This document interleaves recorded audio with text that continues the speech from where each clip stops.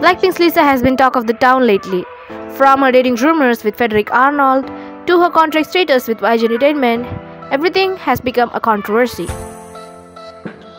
But it seems that she doesn't care anymore what people say about her, and fans are claiming that Lisa has been living best of her life. Lisa has been actively posting the best moment of her life, from Crazy Horse performance to her vacation with her family. Again, Lisa has shown how beautiful she has been living her life by posting her summer pictures. Recently, Lisa has posted several pictures on her Instagram which shows Lisa in bikini.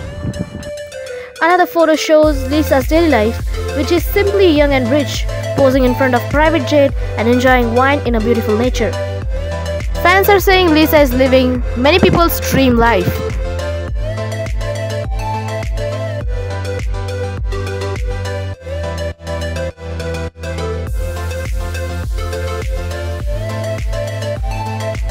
What do you guys think about this topic? Let us know in comment section. Also, if you guys like this video, make sure to click on that like button as well as subscribe to our channel and press that bell icon so you don't miss out any related content to K-pop.